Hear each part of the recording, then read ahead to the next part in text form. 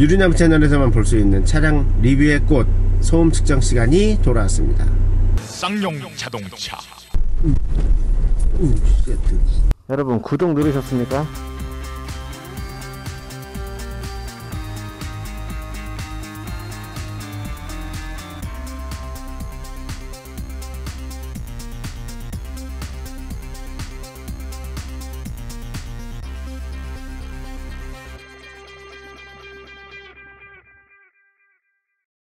안녕하세요. 요리나무 채널입니다.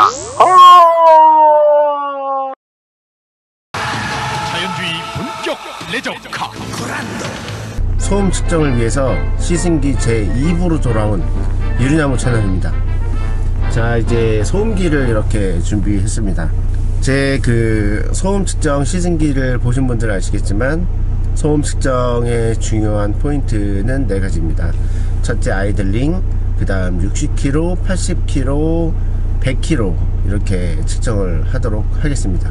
예열이 끝났으니 출발해 보도록 하겠습니다. 안내를 시작합니다. 유턴스 어우 넘어지지 않게 조심해야지 옛날 차들 중에는 넘어지는 차가 그렇게 많았어요 그죠 이 그 경차들 포함해서 이 코란도 뉴코란도도 잘 넘어지는 차 중에 하나였죠 자, idling 상태 예열이 끝난 idling 상태이고요 항상 동일한 소음기로 소음을 한번 측정해 보겠습니다 idling 상태 power on. 자 보면은 59에서 60 정도 유지되고 있습니다. 또 운행하면서 더 측정해 보도록 하겠습니다. 내심 기대가 됩니다.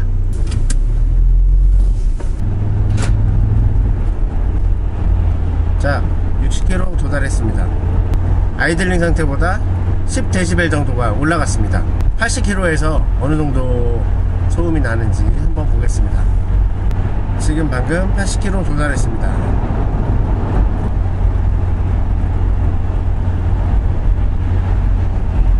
(60km에서) (67dB) 정도 나온 거에 비하면 어, 80km까지 가속이 됐을 때 3dB 정도 올라가는 정도면 뭐 거의 차이가 없다고 봐도 무방할 것 같아요. 이제 마지막으로 100km 구간이 남았습니다. 100km 구간에서 한 번 더 측정해 보도록 하겠습니다. 100km 도달했습니다. 80dB 밖에 안 나오네요. 이렇게 해서 아이들링을 포함한 속도별 소음 측정을 해 보았습니다. 속도를 측정해 본 결과 아이들링 소음이 다른 차량보다 조금 높은 반면에 어, 속도가 올라가면서 항속할 때 60km, 80km, 100km로 항속할 때 제 생각보다는 방음이 그렇게 어, 나쁘지는 않았던 것 같습니다. 운행을 할 때 느끼는 방음 수준에 비하면 소음 측정은 생각보다는 조금 적게 나온 것 같아요.